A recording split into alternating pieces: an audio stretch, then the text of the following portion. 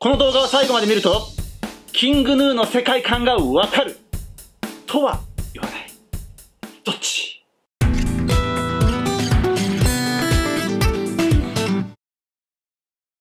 はい、どうもこんにちは。スタバンドへようこそ。レンです。高尾さん、行ってきました。P です。こんにちは。いやー、紅葉めっちゃ綺麗やったよ。東京初心者みたいな。いや、あんな綺麗やと正直思わへんかった。京都人が 京高尾さんの都、紅葉を見て感動したの。うん。よかった。いや、京都、そんな紅葉でも、いや。まあまあ、はい。めっちゃ綺麗やった。やっぱ秋といえば芸術の秋ってことで、おで、芸術的な曲がまあ、発表されて、ねーねえ、ほんとそれが、キングヌーさんの、あの、もうつついていけない人はついていけない系のね、現代アートみたいなそう、やつ。ガラス窓。もうすごい曲やったんで、うん。まあ、最初に言った通り、世界観多分ね、全部はわからないと思う、俺も。説明でき。けどまあ、とりあえずできるところまでやっていこうと思います。はい。はい。はい。ということで今回はキングヌーのガラス窓の曲分析動画。はい。早速、レッツじゃあまずまあこのガラス窓。全体的にもう、すごい怪しくて美しくて、アーティスティックな、ちょっともう一言では表せない感じだったやろ。うん、妖い、妖艶って感じ妖艶があーそうそうそうふわふわっとしてて、うん。で、転調もして。そうそうそう。バンド感はあんまりなかったかあ、ら。そうやな、そうそうそう。んただこの、やっぱ、イントロでな、すごい、オーケストラ、多分これバイオリン弾いてんのももしかしたら、あの、常田さん常田っぽいねお兄さん。あ、お兄さんのお兄さんが確かバイオリンやっててあ、、そうなの？そう、確か前、何やったかななんかの曲でも、あの、お兄さんがバイオリンをレコーディングしてるっていう話があったと思う。あー、なんか言ってたかも、それ。そう、確か言ってる。うんで、もしかしたら今回も弾いてるかもしれん。ちょっとここまだ情報わからんけど。音楽一家なんだ。そう。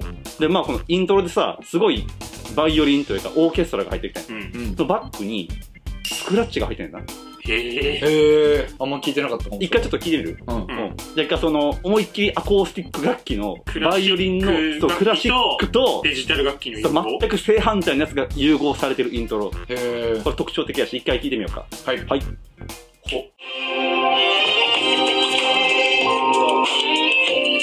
おおかっこいいかっこいいね。こんな使い方あったん？ローファイヒップホップみたいな。なんか、あジャンルが全然違うジャンルの。ーかっこいそいう。え、スクラッチ回していいのってあの、バンダナにグラサンしてるだけじゃない？いつの時代のすごくない？この組み合わせ。めっちゃ合うね、でも。そう。まさかこんな、なんか合体すると、するとは思わへんかったで。うんうん。なんかこういうちょっとこう、飛び道具的なのを合わせてきて、形にしちゃうのもなんかキングヌーのテクニックというか、なん確かにすごいところの一つだと思う。創作フレンチみたいな。ね。そうそうなんかわかるまあこういうすごいイントロから入って、で、あの、ちょっと注目したいのが、うん。ベースなんやけど、うん。ベースの音色が、ちょっとウッドベースっぽいね。多分エレキなんやけど、よく聞いてほしいのが、音の減衰の仕方。エレキベース普通に弾いてたら、バーン、バーン、ボーン、ボーンってちょっとこう、伸びっぱなしになる。うん。まあ、伸ばすことのできる楽器なんやけど、ウッドベースって結構、ボーン、ドン。ドン、ドン。音音感が短いってこそう。あれえとごめんなさい。フェードアウト感ってこそう。とうん。音の消え方が早い。音の消え方が早いねい。ちょっとその感じを多分エレキのテクニックで多分出してるんやろな。へまあそれが分かりやすいのが、まあうん A メロかな。1分25秒ぐらいかな。うん。一回ちょっとベースの減衰具合にうん。注目して一回聞いてみてください。はい。はい。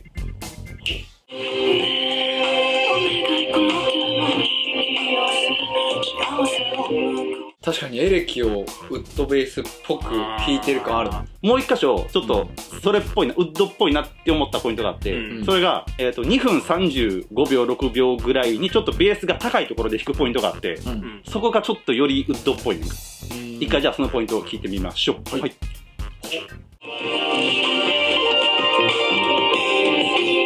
ベースがうん。3連符みたいなポンポンポンポンみたいなところに行ってから上にトゥントゥントゥンみたいな感じで弾くところ。ちょっとエレキベースっぽくはぽくはないねうんうん。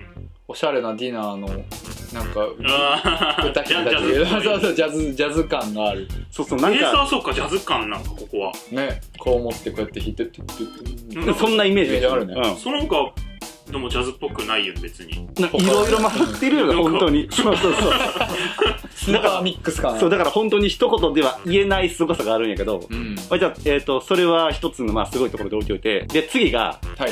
えっ、と、C メロかな。2分ちょっとぐらいから、うん。2分4秒ぐらいからの C メロ。少しの変化だけど、大きな変化。っていうのがあって、先にちょっと聞いてみようか、変化を。はい。少しの変化だけど大きいの。そう、聞き取れるかどうかちょっと皆さん注目して聞いてみてください。はい。はい。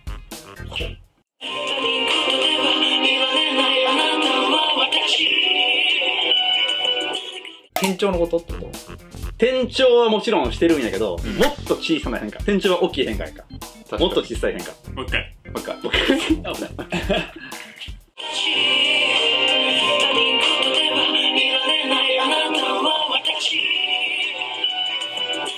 ドラム。ノートが高くなってる。ドラム高くなってない。ドラムが？ドラム。角を叩く。叩きいや違う。違う。ビートが違う。おー、はい。へえ。おゆっくりになってる。いや、そういうわけじゃない。え、何が違うのじゃシャッフルから、跳ねたリズムから、イーブンに変わってんの。え。へえ、最初跳ねてたね、そう言われると。そう。と、つった、つったドン、つったた、つったドン、つった、つったドン、ドン、タドン、みたいな感じ、最初そんなリズムやったのが。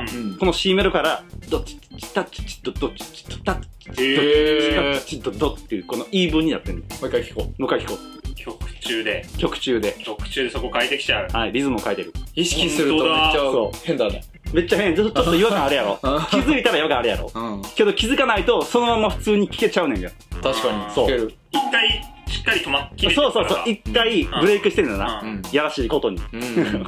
これがすごい。へえ、面白いね。すごい曲ですね。分析すると面白い曲ってさっき言ってたけど、そうだね。そう、なんか、多分分析、しながら楽しむ曲みたいになってる。まだまだ見つけられへんの多分めっちゃ入ってんやろうけど、うんうん。まあ、これもとりあえず、すごい、何、仕掛けというか、うん。ポイントです。で最後に、うん。えーここすごポイント。うん。個人的、ドラマー的ここすごポイントがあって、おお。それが、スネアをまともに一回も叩いてない。へえ。あー。チキチキしてるもん、ずっと。なんか、ポンポンチキチキみたいな、なんか音、変な音ばっかだもん。まあまあ、そうだな。言ってしまえばそうなんやけどでも、なんか確かに芯がない気はふわふわ感する。うん。スネアの音ってさ、うんどういう音を想像する？普通ポーンそう、ターン抜ける音バーンとかそんな感じやろ。この曲、あの、最初から最後まで、クローズリムショットって言われる、あの、うん縁をこう、カツッあ、そうそうそう、カツ、カツカツ。って音を最初から最後までやってんの。へへ一回もパーンって叩いてないね、この曲。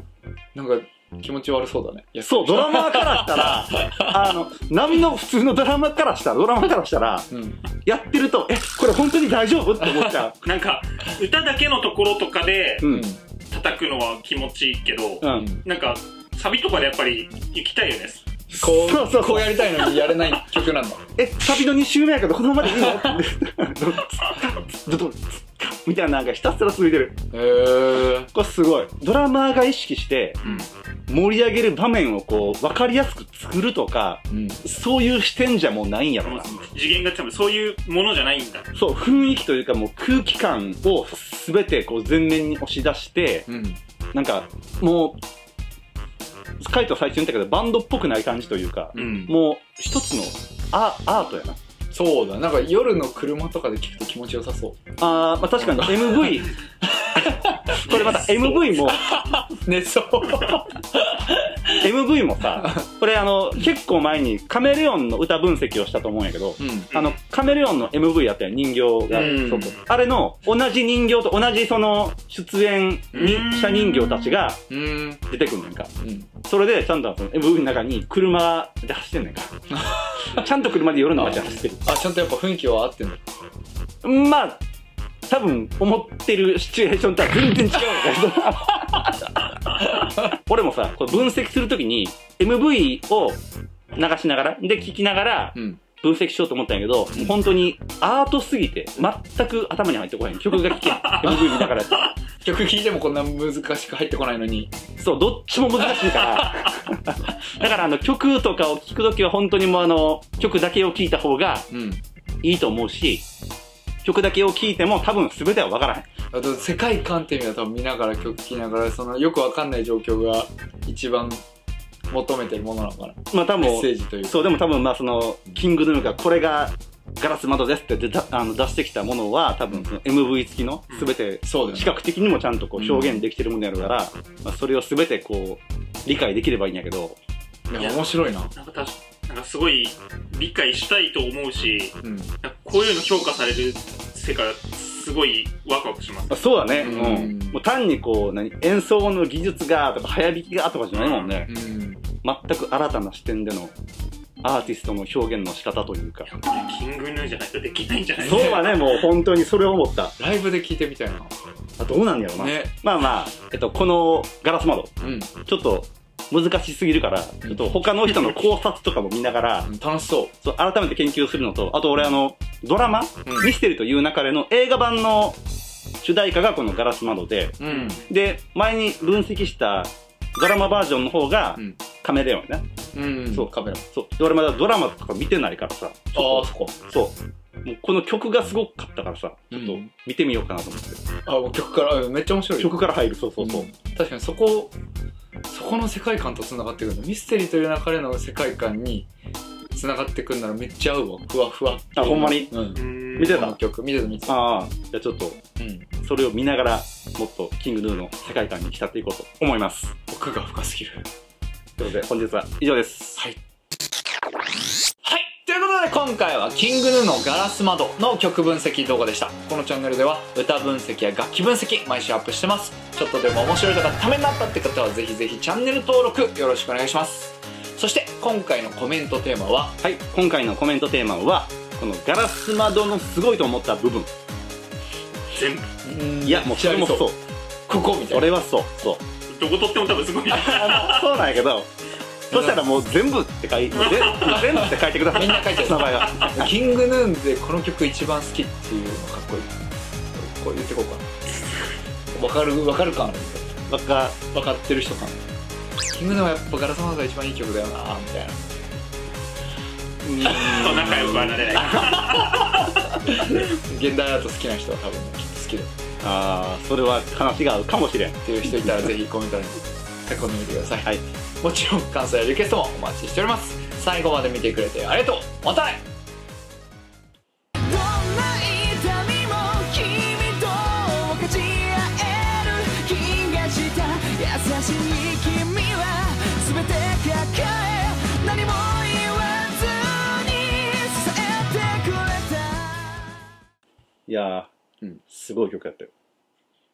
でちょとりあえず MV まだ見てない曲しか聴いてないからあ、そうやんな。そう MV を見たいカメレオンの時は、うん MV も見たよな。うん見た見た見たち。ゃんと、だから多分ね、続けてみた方がいいかもしれん。確かにね、うんつながりがすごい強そそう。なんか調べたところちゃんとアンサーソングでって書かれたし、ううん確かに出てきてる人も一緒やし。ただ、うん内容が理解できるかというと、うんどうかなっていう感じ。ついていけないかもしれちゃんとしっかり、しっかり見ても、うん。だ多分考察、他の人たちがめっちゃ考察してんねんか。うん。それを見ながらやったらめっちゃ、あ、すごいなってなる。そういう映画あるよね。考察ありきっていうか考察で見るとめっちゃ楽しくて好きになるみたいな、伏線みたいな。うん。うんうんうん。そういう方向の音楽なのかな。今回の新曲は特に。すごいところからアプローチ。これも込みで映画ってことですか？だからもうこれもそういう今考察してるもんね頑張って。考察チャンネルやもんな。そう考察チャンネル入ってるから混ざってってるから今。うま、ま混ざってってる。